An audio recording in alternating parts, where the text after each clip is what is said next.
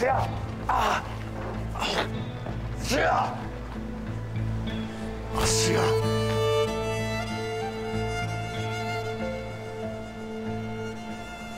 Benim tek derdim Tahir'in canıdır. Başka çarem yoktu bilirsin. Fışkı yoktu. Asya! Yiğidi o zalime teslim ettim Mustafa. Sana emanetti o seni. Emanete hıyanet ettin Mustafa. Ulan Tahir'in de canı bana emanettir. Babamın emanetidir bana. O mazlum Allah'ın emaneti be adam. Allah boşuna mı onu bizim eve gönderdi sanırsın? Babanın emanetini Allah'ın emanetinden önde mi tutarsın Mustafa? Ulan anası değiliz, babası değiliz. Neremiz Allah'ın emanetidir. Anlamaysın değil mi? Anlamayın. O daş yüreğinin anlayacağı dilden anlatayım. Senin de kızın var. Ya biri kızımızı bir zalime teslim etseydi. Evladına ağlayan ana ben olsaydım Mustafa. Siyah.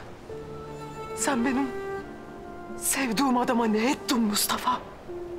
Ne ettin? Asya. Ne bak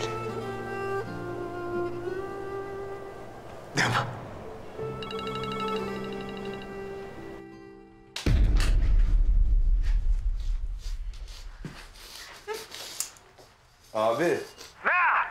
Yiğit kayıp. Ne demek lan Yiğit kayıp? Havada bir yerde tek başına kayıp işte. Fatih aradı. Ee, Necip atlatmış kaçmış.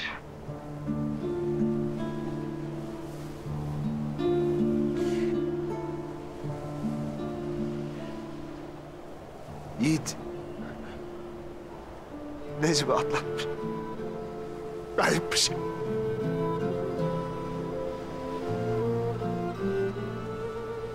Yiğit yarasına Yiğit katlanırmış. Şimdi ne edeceksin görelim.